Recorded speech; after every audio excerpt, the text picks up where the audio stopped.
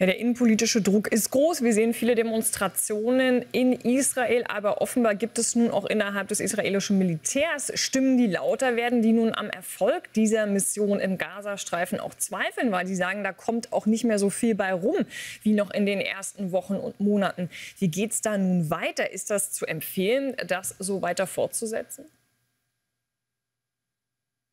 Das ist eine Frage, die wahrscheinlich nur der israelische Generalstab, der ja sehr fähig ist, äh, selbst beurteilen kann und selbst beurteilen wird.